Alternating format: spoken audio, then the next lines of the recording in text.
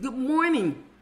Welcome to Manna from Heaven with your girl Sharon Gaines Lee. I am so glad you joined me again. Again, I am excited. I'm always excited excited about working together with God, God when He wants to. It's just exciting to me that He wants to work with us and talk to us, and He loves us so much. That's that's the exciting part. But I'm so excited about this topic, topic, listening to the voice of God, hearing God's voice. And we want to be laser sharp. We want to grow in that. We don't ever want to get to a place where where I hear the voice of God or you know, you know how we can be, how our flesh is, how it can be.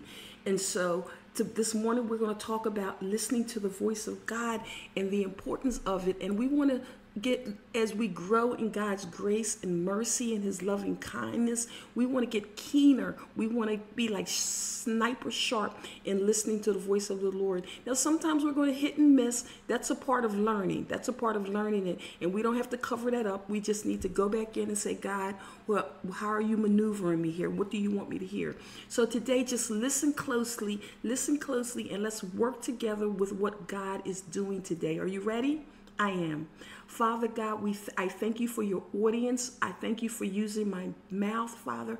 I thank you for speaking to us. You said where two or more are gathered in your name, that you are in the midst. So, Father, we thank you that you are in the midst right now, ready to give us the next step that we're to go to. I'm excited for you, Father. Thank you for choosing us, Father. We didn't choose you. You chose us. You came after us. And so today, Father, we thank you for working together with us in the name of Jesus. Are you ready?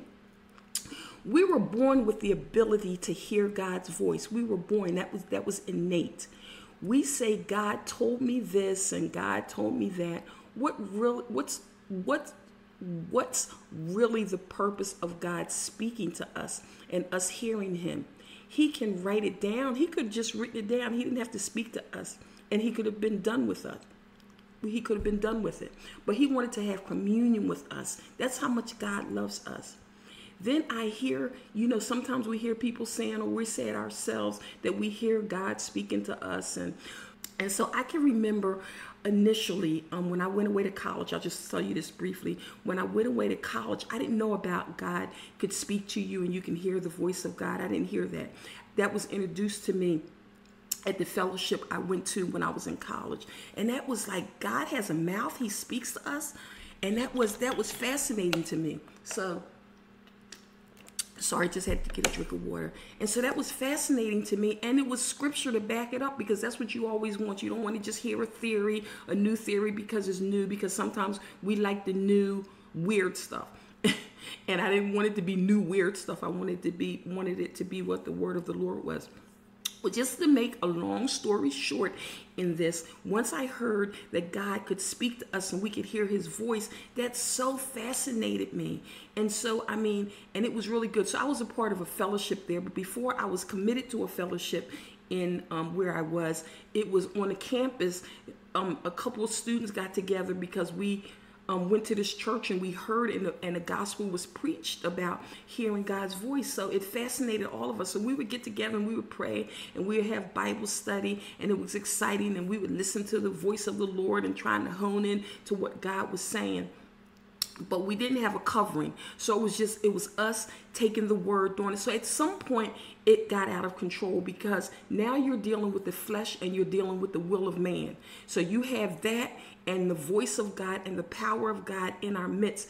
If it's not directed, it can be out of hand because it can be, you can make it all about you and all about you hearing the voice of the Lord and all about you saying, I heard the voice of the Lord. I heard the verse, voice of the Lord um, more than you did. So it can just go back and forth, and you know what I mean. So to be taught about the word of the Lord and, and, and to have God's covering over us is important. So that's what we're going to sort of touch on today because there's a human element and there's a human will about hearing the, the voice of the Lord. And all of that can affect us hearing the word hearing the voice of the Lord. Because if our will is so involved in it, then we're hearing the work, the um the um voice of the Lord the way that we want to hear it. You know, if our will, our will, not God's will concerning us, but if our will is paramount, is at the top, then it will adjust what we're hearing. And so that's important. And many times, not just me, it's happened to you too, because that's a part of the process. And it can still be happening now. And it is from time to time. That's why we need God. We need um, a Savior for the rest of our life. So, how can we intensify our prayer and our hearing life? Well, here we go. Get alone. Sometimes we have to get alone with God and put on, sometimes I know I'll put on worship music because I just want my insides to quiet down and know that prayer is an exchange of a burden. Prayer is an exchange of a burden. There's a song we used to sing, and I know you probably know it too, and it says, I'm trading my sorrow, I'm, I'm trading my shame. I'm laying it down for the joy of the Lord. I'm trading my sickness. I'm trading my pain. I'm trading my joy for the for the I'm I'm trading my pain for the joy of the Lord. And then it goes, Yes, Lord, yes, Lord. You're you're you're humbling yourself under God's voice, under his you know, under his will, and you're saying, Yes, Lord, yes, Lord, yes, yes, Lord, yes, yes, Lord, amen. It is so. And that's a worship song, but that's the truth that's the truth. That's the word. I mean, this worship song was taken out of the Bible because we want the will of the Lord, whether we want, want it or not. I mean, we have to come into working together with the Lord so the will of the Lord is more paramount than our will because our will is not going to take us but so far. It's not going to take us, but God's will will, will take us, you know, where we need to go. Otherwise, you're just complaining and and griping if we if we if we don't do it God's way. If we want our prayers answered, we must be specific in our requests. Be clear on what you're asking for. The need to be precise in our prayer requests is clearly illustrated in the account of the two blind men in Matthew 20 in, in Matthew 20 specifically specifically excuse me in verses 30 through 34 but we're going to cover um, the entire verse it says now listen to listen to me and this is Matthew um, 20. It says, For the kingdom of heaven is like the owner of a estate who went out in the morning at dawn to hire workmen for his vineyard. When he had agreed with the laborers for a denarius for the day, he sent them into the vineyard. And he went out about the third hour, which was about 9 o'clock a.m., and saw others standing idle in the marketplace. And he said to them, You also go into the vineyard, and I will pay you whatever is right, an appropriate wage. And they went. He went out about the sixth hour, which was about noon, and the ninth hour, which was about three o'clock, and did the same thing. And about the 11th hour, which is later, about 5 o'clock, 5 p.m., he went out and found others standing around. And he said to them, Why have you been standing here idle all day? They answered him, Because no one hired us. He told, he told them, You go into the vineyard also. You go into the vineyard also. When evening came, the owner of the vineyard said to his manager, Call the workers and pay them their wages, beginning with the last, beginning with the last to be hired, and ending with the first to be hired. Those who had been hired at the 11th hour, which was about 5 o'clock p.m., came and retired and received, I'm sorry, and received a denarius each, a day's wage. Now, when the first to be hired came, they thought they would get more, but each of them also received a denarius. When they received it, they protested. Here comes this flash.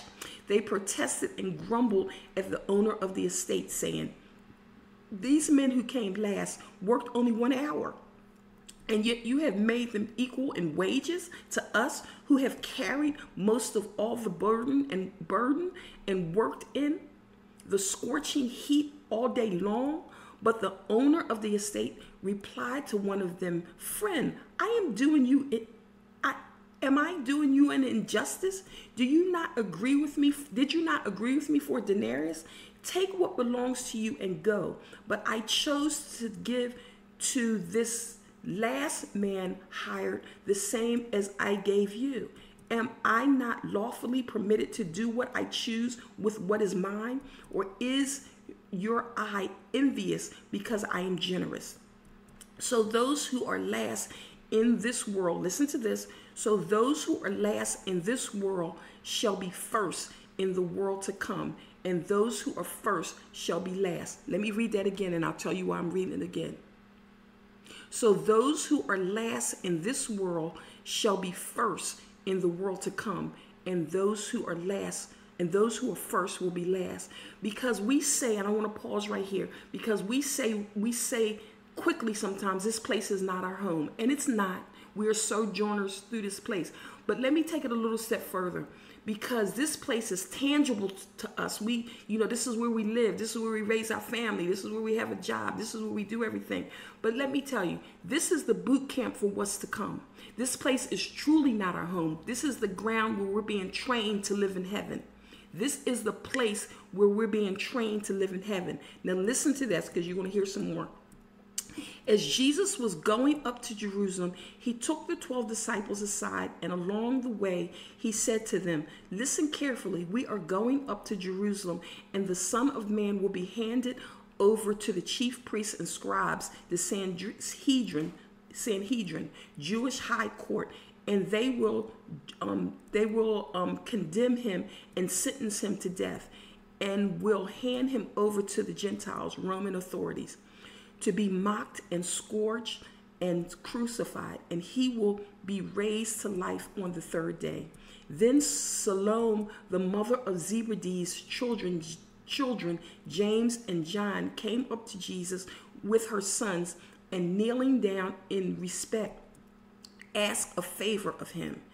And he said to her, and he said to her, What do you wish? She answered him, Command that in your kingdom, listen, Listen, she knew a little something, but she shifted it. Her flesh did. What do you wish? Jesus asked her. She answered him, Command that in your kingdom these two sons of mine may sit in a position of honor and authority, one on your right and one on your left side. But Jesus replied, I'm sorry, but Jesus replied, You do not realize that what you are asking. Are you able to drink the cup of suffering that I am about to drink? They answered, We are able. He said to them, You will drink my cup of suffering, but to sit on my right and my left, this is not mine to give, but it is for, for those whom have been seen prepared by my Father. And when the other ten heard this, they were resentful and angry with the two brothers. But Jesus called them to himself and said, You know that the rulers of the Gentiles have absolute power and lord it and lord it over them, and their great men exercise authority over them. Mm-hmm. It is not the way amongst you, it is not this way among you. But whoever wishes to become great among you shall be your servant. Hmm. Listen to that. And whoever wishes to be first among you shall be your willing and humble slave. Just as the Son of Man will not come to be served, but to be served, but to serve, and to give his life as a ransom for the many, paying the price to set them free from the penalty of sin.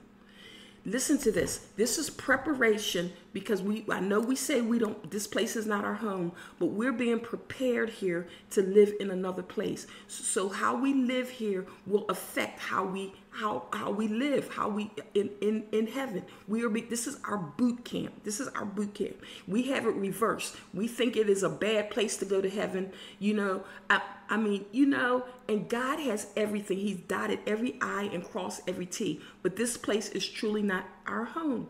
As they were leaving Jericho, a large crowd followed him, and the two men, the two blind men, were sitting by the road. And when they heard that Jesus was passing by, they cried out, Lord, have mercy on us, son of David, the Messiah. The crowd sternly told them to be quiet. But they cried out all the more, Lord, son of David, the Messiah, have mercy on us. Jesus stopped and called them and asked, What do you want me to do for you? They answered him, Lord, we want our eyes to be opened.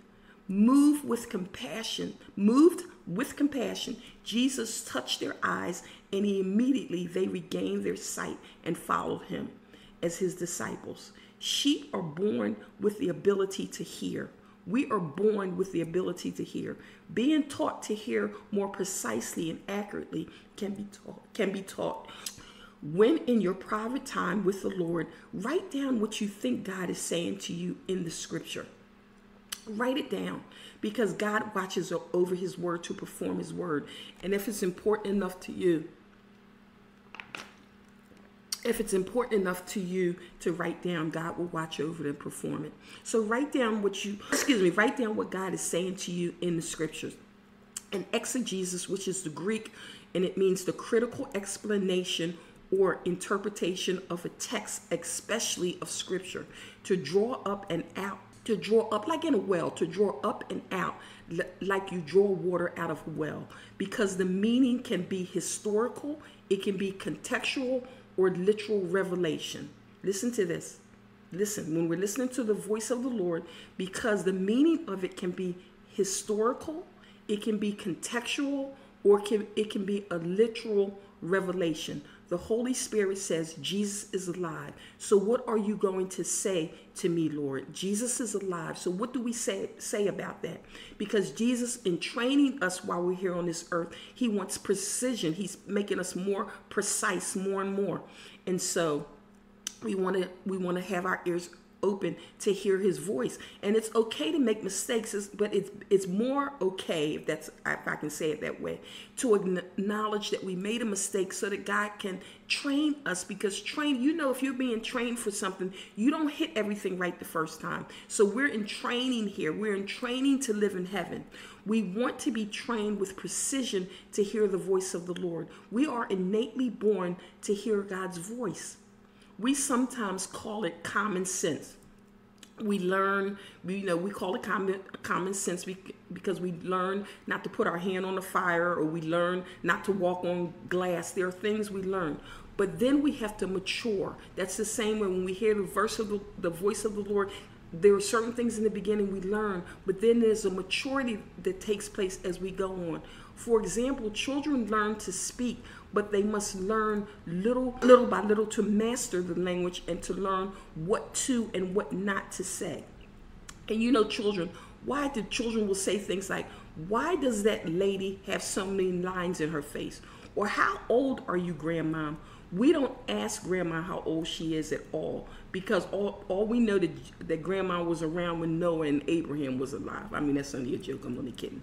The ability to hear God is innate, but we must mature in the gift. We learn how to function, what to say, what not to say, because sometimes we say, "Oh, I, God said this to me." Oh, God didn't say. Oh, I heard the Lord first. Heard the Lord, and we make it so commonplace that it becomes neutral and, and and we don't hear it anymore we don't hear it or we don't believe it anymore we hold on to a form of godliness but knowing that the voice of the lord can be precise and clear and sniper sharp we sort of quietly walk away from that and not knowing that we are in training we are in training for heaven we are in training here.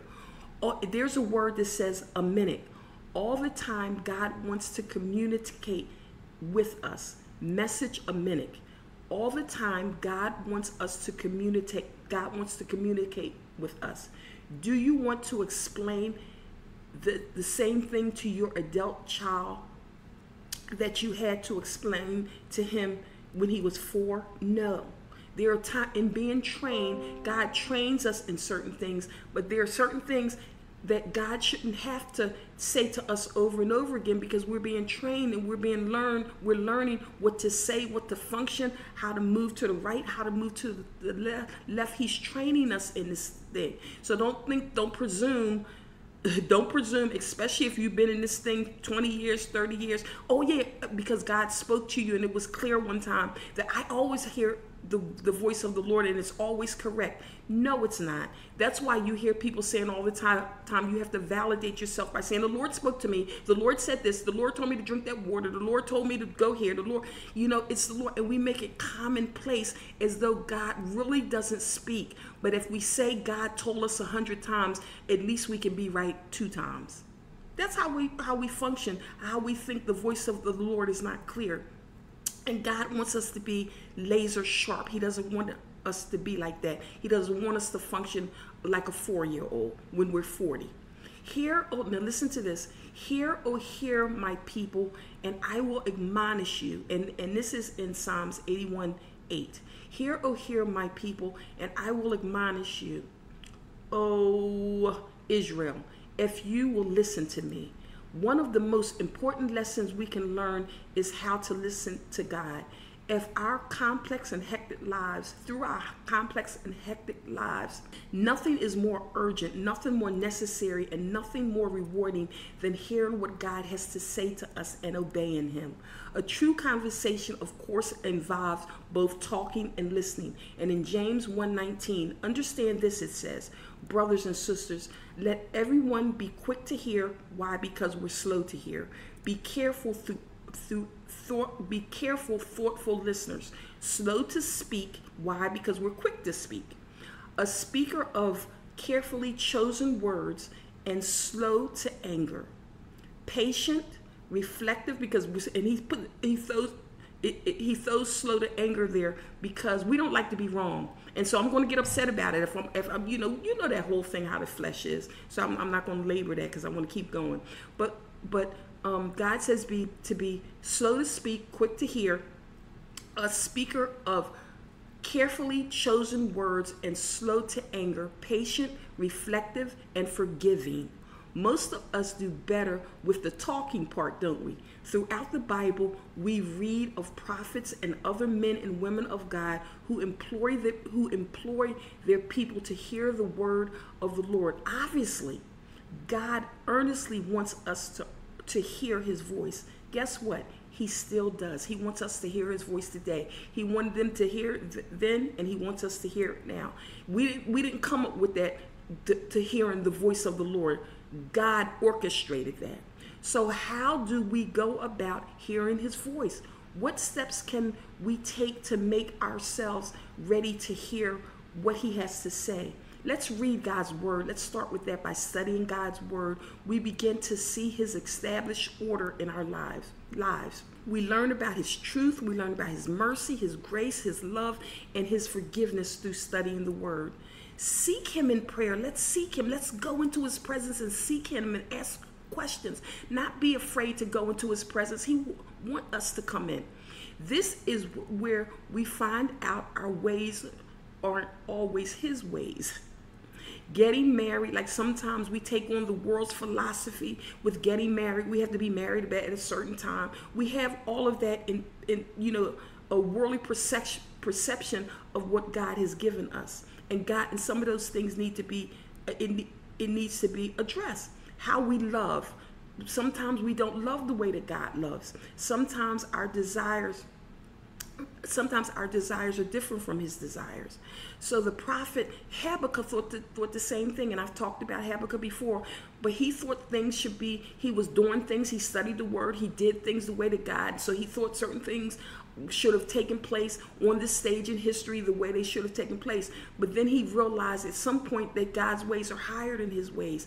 And, and, and we find that out from time to time. The way that we're accustomed to doing things, the way that we're accustomed of saying things, the way we're accustomed to handling people or handling the word, it has to be adjusted from time to time.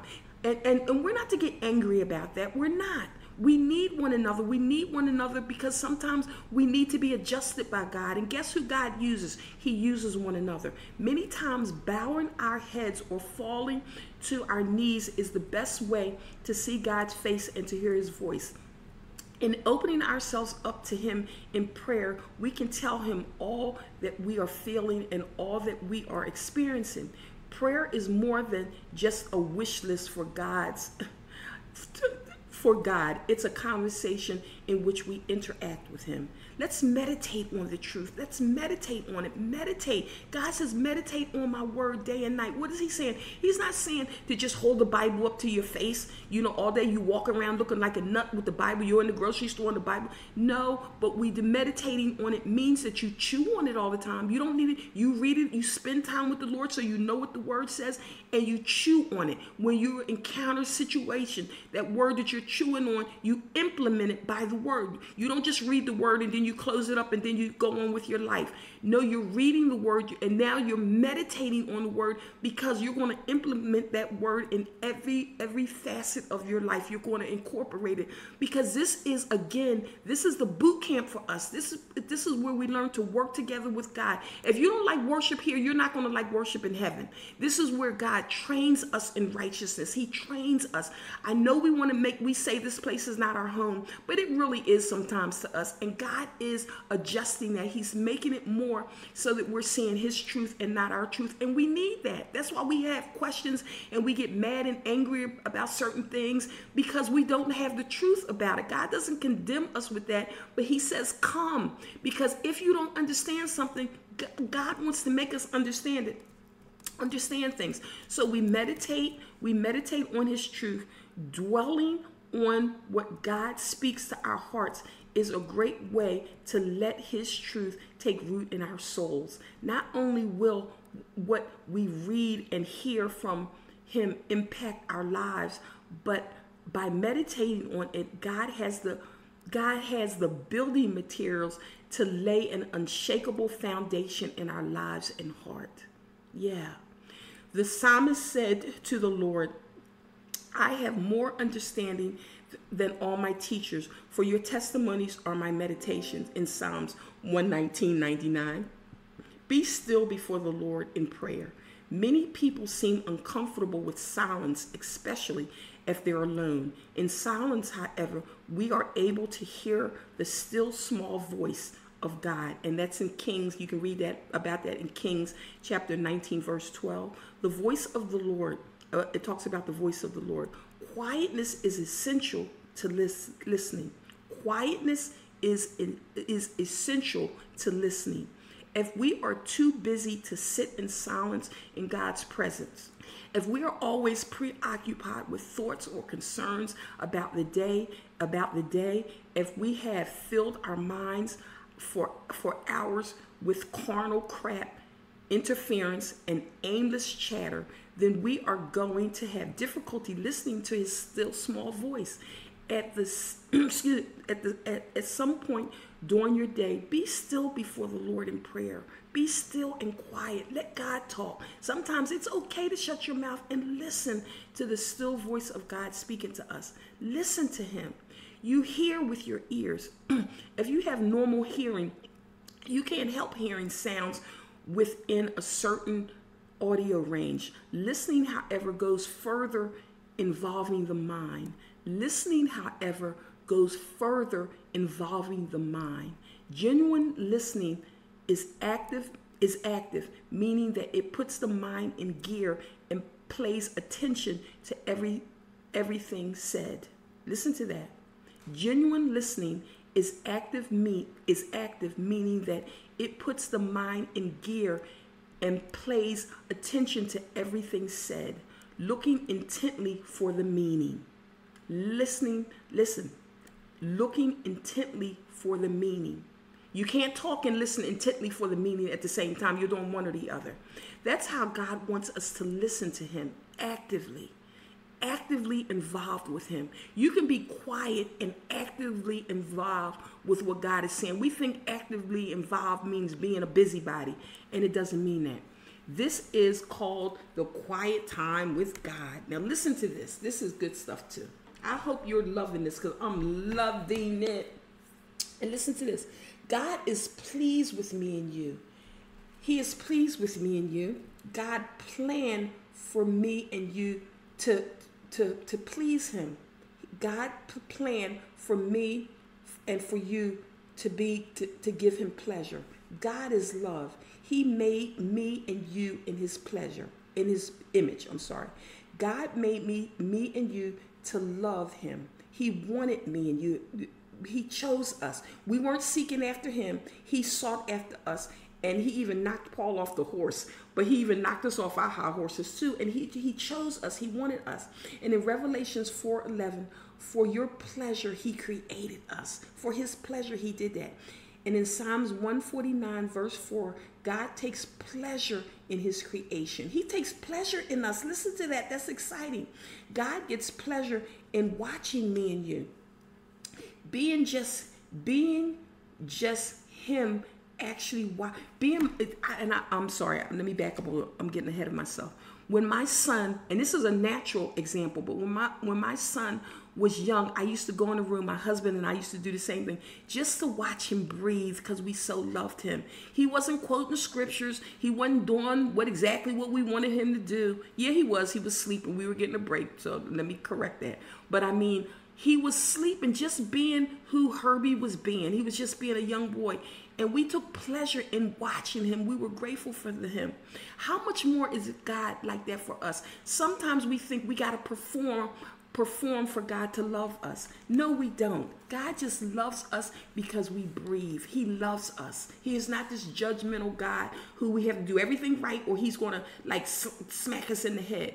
I mean, we make it be like that, but we're we're um, made in the image of God. He's not made in the image of us. And so it's and so in Psalms 149 4, God takes pleasure in his creation. He takes pleasure in you and I. God get, get, takes pleasure in just watching us. And in Ephesians 1 4, it talks about focus. His love, we can focus, God focuses his love on us. And that's in Ephesians 1 4. I'm sorry. He gave us the ability to love him back. God gave us the ability to love him back. God gave us the freedom of choice. God planned for me, God's plan for me and for you is his pleasure. Love God with all your heart, with all your soul, and love your neighbor. And in Hosea 6 6, know, know God and love him. Know God and know to know God is to love him. I, I was planned for God's pleasure. I was planned, we were planned for God's pleasure. God sent us here for, for his pleasure. The purpose of life, know God and, and love God.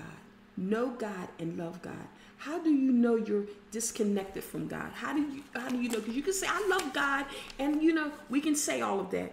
We can say that. But how do we know if we're disconnected from that love? Listen to this worry, if you're worrying, you're not loving God at the same time. You can't do both. You can't do both. You're either worrying or you're loving God because God's perfect love delivers us from the fear of worry. If it's to be, it's up to me. You know that saying. If it's to be, it's up to me. And so if I don't do it, um, you know, it's not going to get done. Come on, please cut that. Please cut that. Um, God loves us so much. He loves us. He loves us. He loves us. He loves us.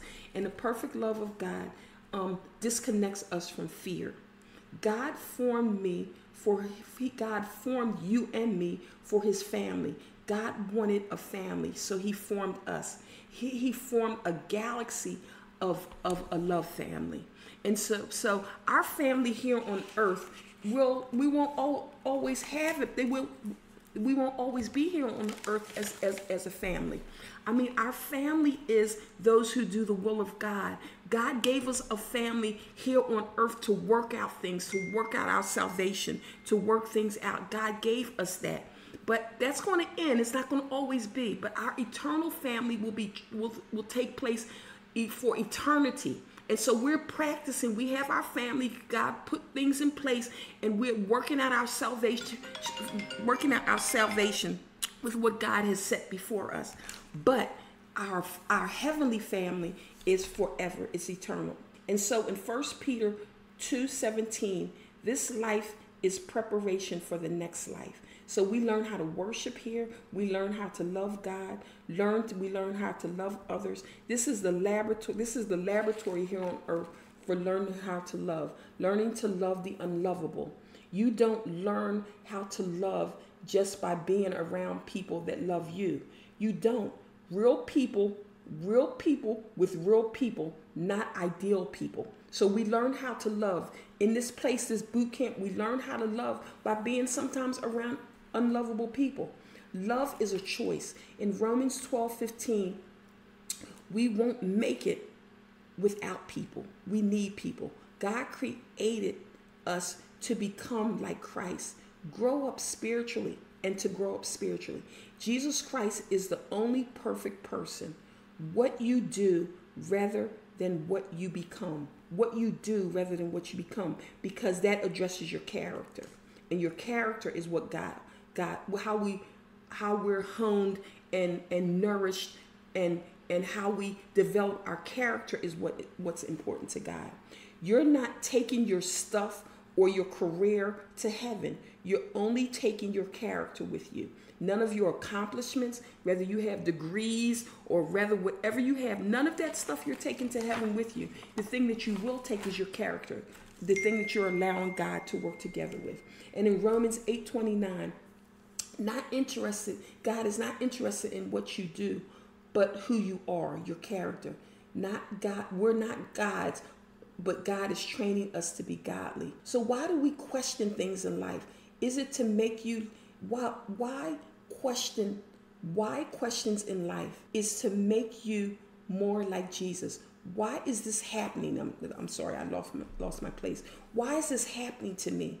Why is this ha- why is this going on? And we have things that, that go on in our life and we're like, why is this happening to me? If God is so good, why is it happening? Because in those things that we go through in our life, whether it's with our kids, in our marriage, in our bodies, with financially, whatever it is, that's the place where God teaches us how to develop our character and how we, we learn more about him because it should bring us into his presence to say god what's going on? What's happening? What's happening here? This is the training ground for us. This is the boot camp. So in boot camp when, when, a, when a person is in the armed forces and they're in boot camp they're not asking the person who is training them why you have me going through this mud? Why you have me doing certain things? It's boot camp. That's where you get toughened up this is our boot camp. This is where our character is developed for the other side because this place is not our home. We're home. We're being developed for another place. Yes, we are. So love is a choice. Love is a choice. Where God teaches us to love hard people. We want to just love people who are lovable and God teaches us in the trenches how to love. The things that we're going that's going on in our life, we get so engulfed in, you know, how we look to other people, how we look to other people, how do our kids look to other people, how does our how do our finances look to other people, how do we look to other people? We get so involved in that kind of stuff, and none of that stuff is going to matter in heaven because this place is where God is training us to live in heaven. Heaven is our home heaven is our home and this place is not. This is where the battleground is where we're being trained to live in another place. And so we look at the word joy. We say the joy of the lord is our strength. Joy is internal and eternal. Joy is internal and eternal. How do we how do we learn about joy? We can talk about joy but joy we learn about joy right? Dead smack in the middle of grief that's how we learn about joy. So we learn about the things of God in the middle of situations. We have no backbones if everything was just smooth sailing. We got everything we wanted it when we wanted, and we tell people, I'm going to get this tomorrow, and we get it. I'm going to get that the next day, and we get. I mean, we really don't develop backbone. We just get what we get. I mean, that's like having a spoiled child. A spoiled child, we can render them useless. They have no backbones if we're careful if we're if and God knew that. That's why he doesn't do that with us. So joy, we talk about the joy of the Lord is our strength and we talk about joy and we sing about joy. But how does joy develop in our lives? Right dead smack in the middle of grief. How does how is patience develop in our lives lives? How does God teach us about patience? Right dead smack in the middle of chaos. That's how we learn about um, that's how we learn about patience. Listen to this. God hears you whether you are shouting praises of thanksgiving, crying tears of mourning, or singing phrases of glory. God hears, He listens. He does not abandon or, or ignore us. He hears our voice. He hears your heart. He hears your shouts. He hears your whispers. He hears your thoughts. God loves speaking to us. He loves um, conversing with us. Sometimes this seems scary. We feel like we're, we, we sometimes we feel like we have to perform, but we don't. That's a lie from the pit of hell. Do not believe it. God takes us as we are. We where we are. We don't have to filter, pretend, or please God in the flesh. He meets us, loves us, accept, accepts us right where we are, are at the moment. I love the Lord, for I heard, I love the Lord, for he heard my voice. He heard my cry for mercy because he turned his ear to me. I will call on him as long as I live. Then I called upon the name of the Lord. Lord, save me. The Lord is gracious and righteous. Our God is full of compassion. The Lord protects the unwary. When I was brought low, he saved me. Return to your rest, my soul, for the Lord has been good to you. And that's in Romans 116, um, 1 through 7. Do not believe, do, do, you, do you believe God hears you and that he speaks to you? Do you? Do you believe that God hears you and he speaks to you? Well, he does. And God God is speaking this to you today because he wants to work together with you to hone in your ear to hear his voice so that you so that you're not hitting and missing that you you said God spoke to you 200 times but he but he only spoke to you one time that you heard. So God wants to God wants to change the trajectory of that. And so there is a war going on right now and right in front of you. A deep, big, all out battle for you and for your heart and for your ear. The war is raging, has been sent. It was sent to you when you were born. There was one, there is one that desires goodness for you. There is one that loves you unconditionally and wants you to become who he designed you to be. There is one that has sacrificed for you. He died for you. He bled for you. There is one that not only takes but also gives away freely. There is one that calls you his daughter and his son, that calls you his beloved. Do not let the other one win. Do not give in. Instead, look up, listen for his voice, stop in and sit in silence. Listen to the truth whispered in your heart. Let it go deep inside of you. Let it settle. You are loved. I love you, says the Lord, without fail, without borders.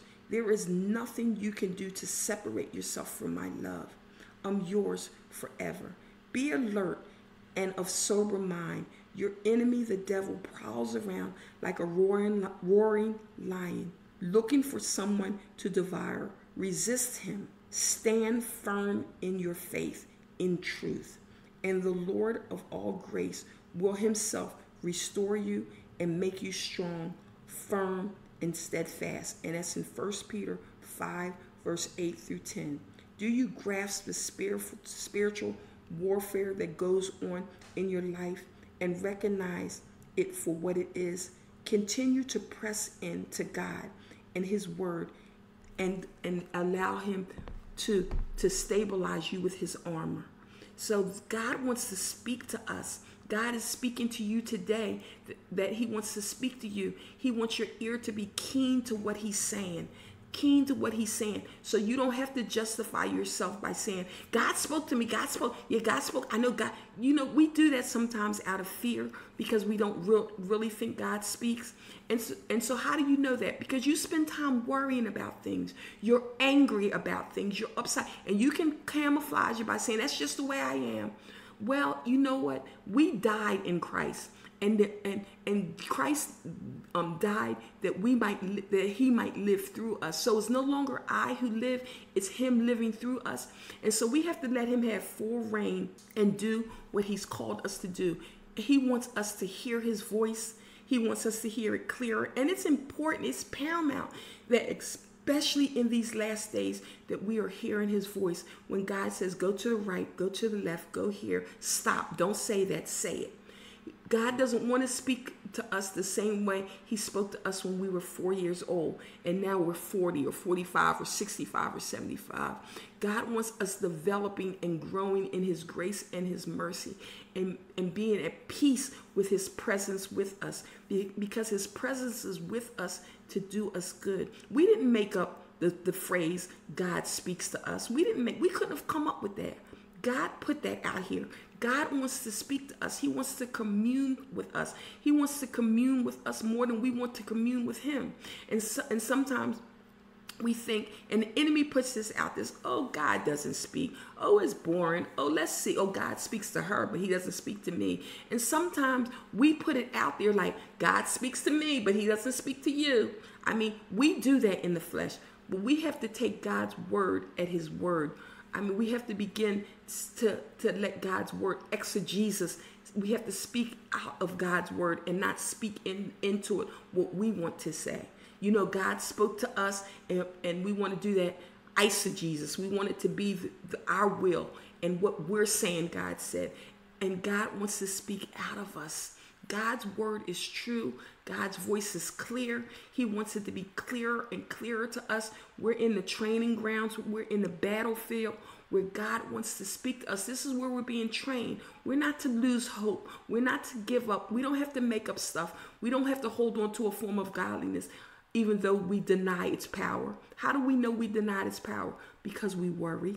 And you can look at somebody else and say, oh, they're not walking with God. But my question to you is, how much do you worry? Because worrying is essentially saying you're functioning out of the same spirit as an atheist. Because an atheist says there is no God.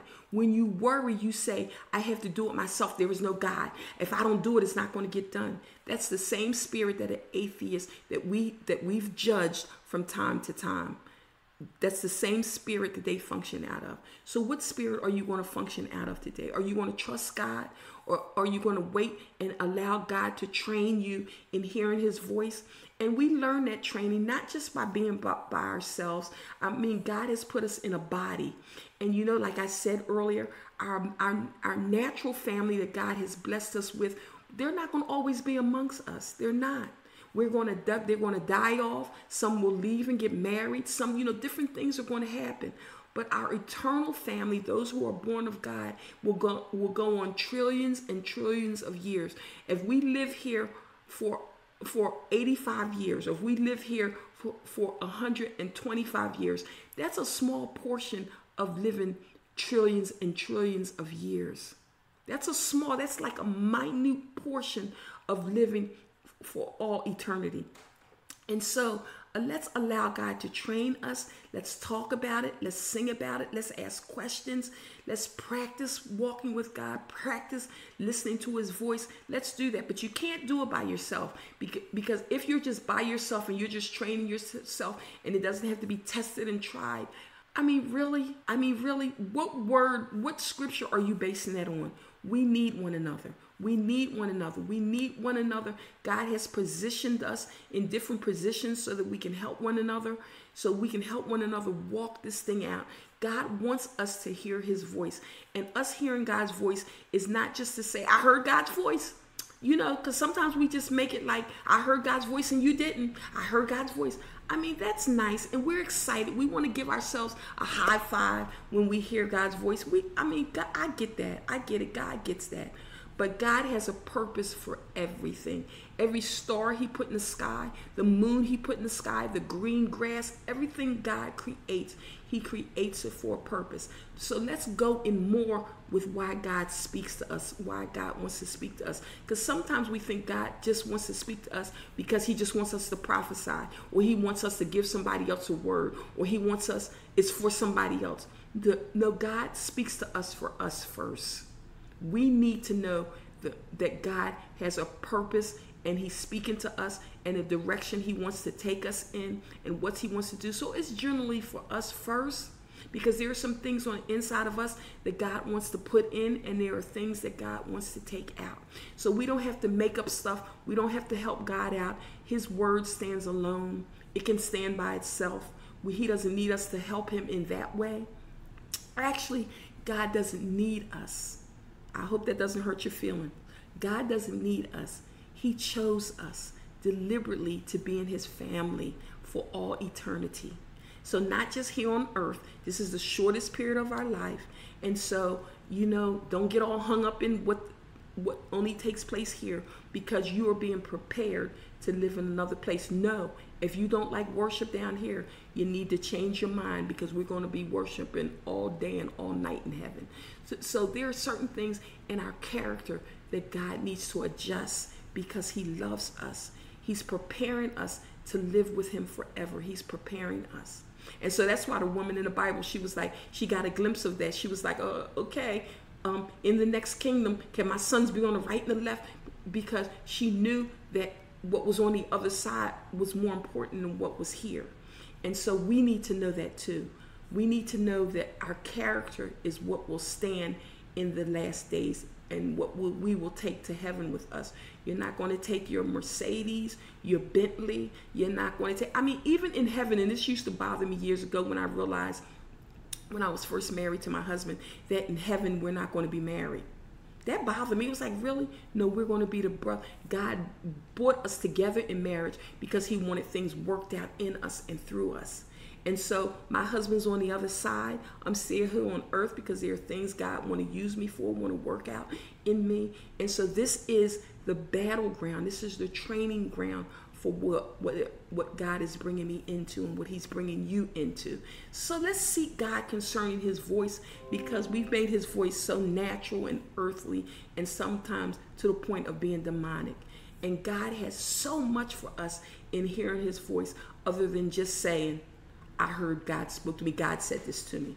I mean, that's a part of it, but it's so much more than just that level of this thing. And so, God, Father God, I thank you that I thank you this morning for your children hearing your word and hear and heeding to your voice your voice. I thank you for intensifying our ear to hear your voice and that we're not just hearing your voice. We're not just hearing it so we can say we heard it, but we want, want to move accordingly. We want to know the purpose that you have us hearing your voice, Father, so we can function in that. We got a glim- glimpse of your our character is what you want to adjust. You want to adjust our character so that we're reigning appropriately here on earth and when we get to heaven. Because this place is truly not our, our, our home, not just in words, but in reality. So, Father, thank you so much for choosing us. Thank you so, so much for speaking to us. And Father, we are listening intently to what you're saying to us in these days to come because a lot of our speech is going to change. A lot is going to change. A lot of repentance is going to take place. Not repentance in hell, you're going to hell or heaven. We're already in this thing. If you're born again, we're already going to heaven. Now God is working together with us, adjusting us, and causing us to reign together with Him. So I hope you enjoyed this podcast today as much as I did. I thoroughly enjoyed it, and I am looking forward to what God will speak to us during these days to come. You know, until we meet again, until we meet next week, God will speak to us because God always, when He when God speaks His word, you hear me saying this a lot. When God speaks His word, He always thrusts us into situations where that word is tested. Because you heard the word today, even though you may have been saying amen, okay, uh huh, uh-huh, that doesn't mean you have it. That means you agree for God to work together so He can cause this thing to work in you. So it's it's a part of you so that it changes your character so that it changes who your speech so that it changes the, the atmosphere around you that, that's why god gives us his word he gives us his word and then he thrusts us into situations where that word is worked out in us don't you want God's word worked out in you? I do. I want to be more like Christ every day. I want to be more, I want to come into more and more of him. So sometimes we have to shut our mouth. We, we like he says in James, we have to be quick to hear and slow to speak. Why did he say that? Because sometimes we are quick to speak, we do the opposite. We are quick to speak what we think we know, and we are slow to hear. And God wants us to hear because in our hearing we think that's not active because we we think the only activity is when we hear ourselves talking and that's active. We're actively involved with god. But sometimes that's the opposite that's the opposite i love one thing about my pastor and i'll just say this real quickly because we're about all but i love the thing about my pastor because he listens keenly and he can regurgitate what you said and and i love that i i glean from that because that's how God is. That's how God wants us to be. He wants us to listen to one another. He wants us to glean. He doesn't always want us talking over one another and da da da. da and I know you know you know you know that world. God wants us to hear. He wants us to practice meditating on His Word, quieting ourselves so that when he speaks to us in his still voice, we hear him. We hear him speaking to us. And that thrills us. That should thrill us. It thrills me that God chose me to speak to.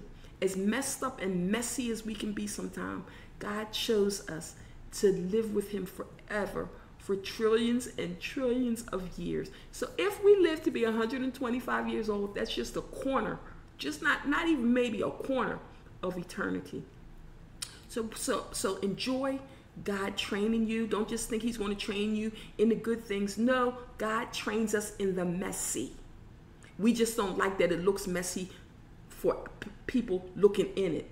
But you know what? Everybody got some messy, okay? God didn't call us because we were perfect. He called us knowing that full well that we can be messy from time to time. We try to cover it up, but we all have it. But God trains us in every situation we're in. Ask yourself, ask yourself, God, what are you saying to me in this situation? What are you saying? You're in a situation with your family, and you're saying, God, because I've said before, God, why did you give me this family member? Really?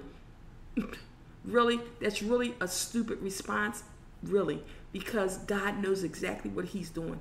And if God wants to train me in righteousness, He puts us right there, smack into a situation where we're being trained. I mean, I'm sure Joseph said the same thing about his brothers. He may have thought it.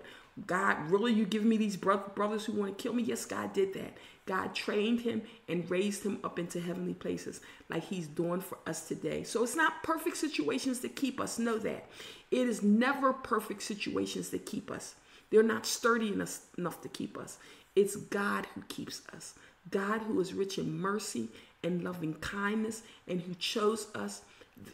That's who keeps us, not your perfect situations that you try to try to portray. Your life is great because you have from time to time a perfect situation, but you know in the back of your in your head that a situation can change quickly. It can go from good to bad, and it can go from bad to good in a in a, in a, in in a Minnesota minute. And so it's better to us for us to cling to God, to cling to Him, and to ride with Him and to listen to His voice because God is not out to destroy us. He loves us. He loves you and I, and He has a purpose for everything that He allows us to encounter. He has a purpose for it. So I love you and thank you for joining me on Manna um, from heaven with your girl Sharon Gaines Lee, or as some people call me Shay, whatever you can call me Shay, or you can call me Sharon Gaines Lee. But one thing the, my father used to say: Don't call me late for dinner. Don't call me. Don't call me late when it's time for the manna to, the manna for, for me to be fed with the manna. So I love you and thank you for joining me. And I'll see you again next week on Manna from Heaven. Bye bye.